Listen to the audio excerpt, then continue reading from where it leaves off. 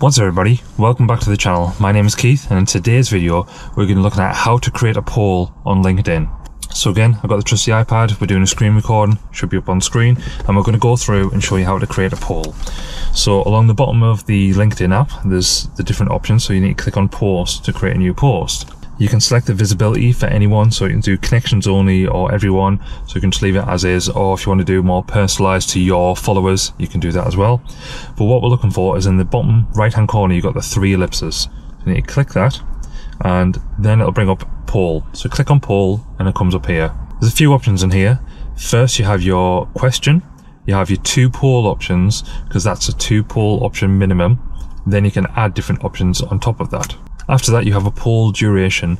So this is a list and allows you to select how long you want that poll to be selectable and choosable by people. So we're going to change that to two weeks just so we've got maximum effort. So first things first, you need to write your question for your poll. So whatever that's going to be, you need to write that in here. Do you use YouTube on a regular occurrence? So that's the question in. So first poll option, we're going to have yes we have no. I'll have sometimes use YouTube. And like I said, you can add as many options as you want, but we'll just do a yes, no, and sometimes just for a, a general thing. But once you've done that poll, there's a done option. So you click that done button. That'll bring you back to your main post option here. So as you can see, you have your poll here and above that you can write some text. So we're just going to go ahead and write some text and obviously this is linked to your poll, whatever you're doing on, you can write particular text. So if you want to expand on what you want to ask in a poll, then this is where you do it. Just doing a little bit research on this topic. Are you a regular YouTube user or do you use it sometimes or not at all? Please answer the poll below.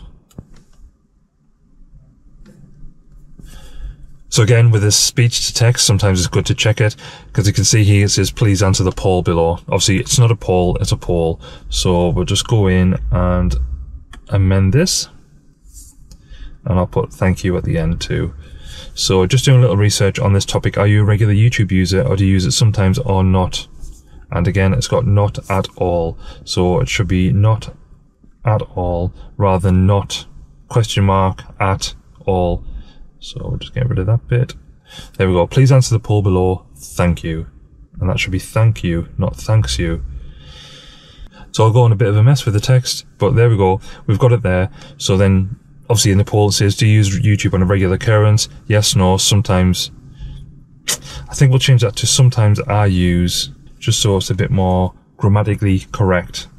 Some, so yes, no, sometimes I use YouTube. Then once you have that done, all you have to do again is you can either schedule it or you can click post and that posts it So we're just going to click post.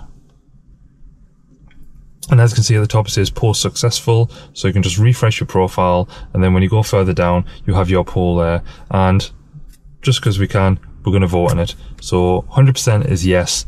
There's no and sometimes. So as you can see here, it's got one vote and there's two weeks left. So this poll will run for two weeks so people can select their options for another two weeks. So that's how you create a poll on LinkedIn.